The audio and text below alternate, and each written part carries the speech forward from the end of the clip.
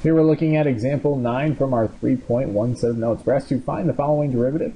And right away we notice that we're trying to take the derivative of a natural log of a function.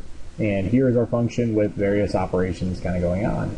Uh, just in following those two steps, we know that the first one is, is going ahead and trying to break up this function as much as possible with different natural logs. Uh, so let's go ahead and do that. And we have the derivative with respect to x. Haven't taken the derivative yet, just saying that we will eventually. Uh, let's go ahead and just show the quotient first.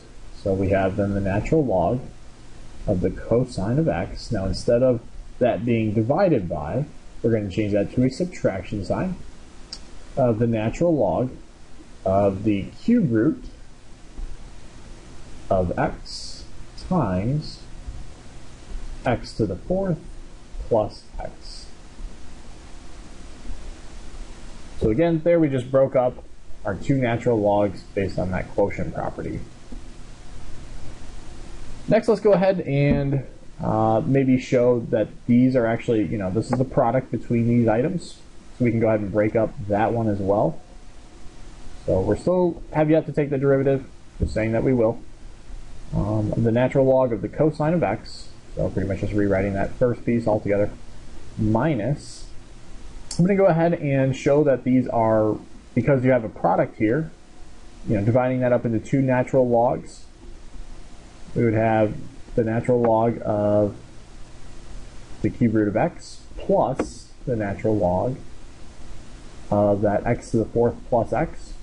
Now, the key reason, though, why um, we threw this parenthesis around there is so that that negative is going to be applied to both of them and not just this natural log of the cube root of x. So it's pretty important to notice that it's going to actually both of them.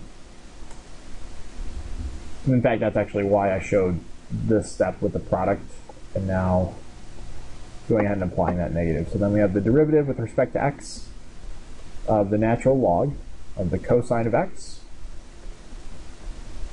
minus the natural log of the cube root of x minus the natural log of x to the fourth plus x.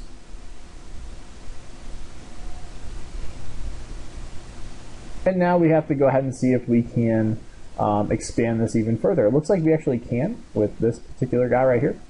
Uh, we notice that we have the cube root of x. We can actually rewrite that. Um, most of the other ones we're actually okay with, but we have to expand that, that middle one even further.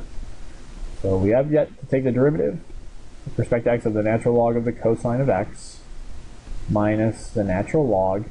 Instead of the cube root of x, we can go ahead and change that to x raised to the one-third power minus the natural log of x to the fourth plus x. Using that property with, uh, using that power property with logarithms, we can go ahead and take that one-third power and throw him in front. Then we're trying to yet take the derivative with respect to x of the natural log of the cosine of x minus one third times the natural log of x minus the natural log of x to the fourth plus x. Now it's pretty tempting to want to use this, this exponent x to the fourth and throw that in front of the natural log, but notice it's only being applied to this, this first x. It's not over here as well. And so unfortunately we can't even just do that.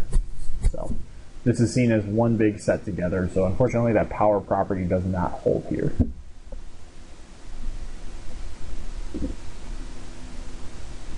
Now that we've expanded this as much as possible, we can go ahead now and apply our derivatives to each of the terms.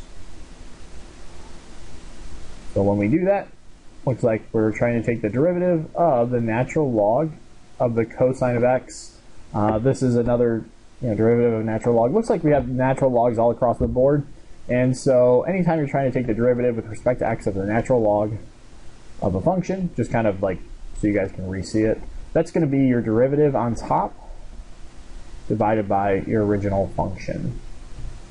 So in other words, when we're trying to take the derivative with respect to x of the natural log of cosine of x, well, that's going to come out to be our derivative on top so the derivative of cosine of x comes out to be negative sine of x. and then we rewrite our function on the bottom. So that would be the cosine of x. Because again, this was considered to be our f of x. This is considered to be your f of x. And this is also considered to be your f of x.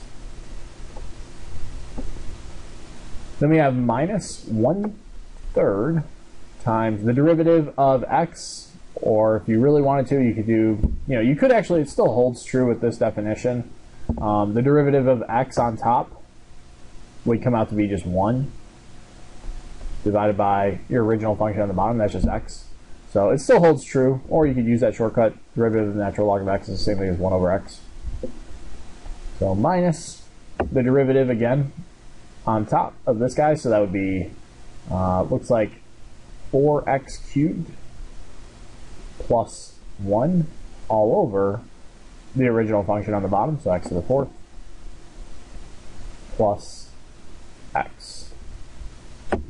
And so just kind of cleaning this up a little bit, looks like our derivative comes out to be negative tangent of x uh, minus 1 over 3x and then minus 4x cubed plus 1 all over uh, x to the fourth plus x. So maybe just throw a parentheses on there. Just to show that if you were to keep going, that would be distributed to both. So again, though, that is example 9 from our 3.1 set of notes.